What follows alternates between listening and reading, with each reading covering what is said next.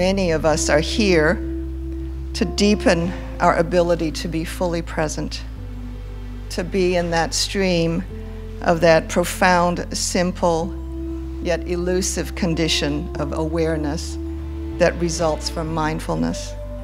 It's unique for Silicon Valley to bring into our midst a Buddhist monk. This great teacher agreed to come in part because of who we are.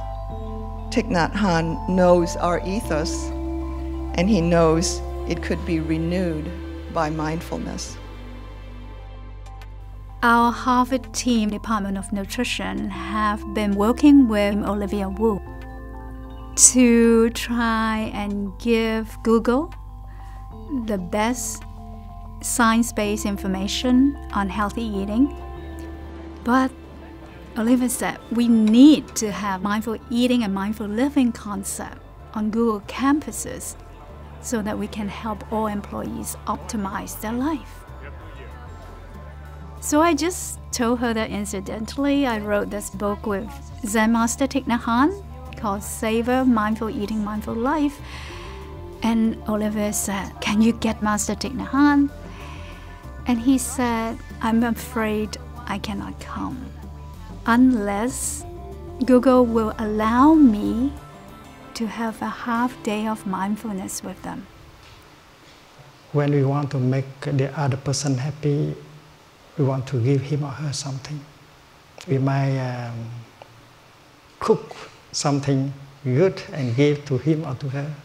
But the most uh, precious thing you can give him or her is not something you can buy from the market. It's your true presence. We have so much worries and fear and anger. We are not happy. And that is why the practice is to bring more space into our heart and around us.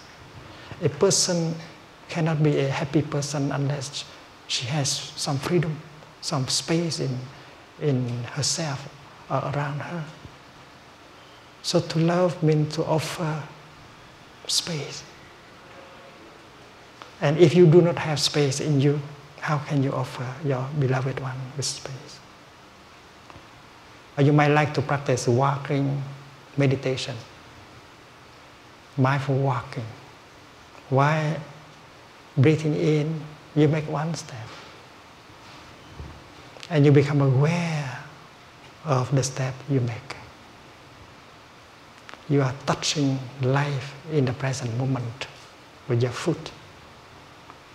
The first few minutes, you can see the outcome right away breathing in, if you pay attention only to your in breath, and then you can release and the past and the future and all your projects. And you don't have to go to a temple in order to practice mindfulness. Walking from the parking lot to your office, you might enjoy mindful walking. You might enjoy every step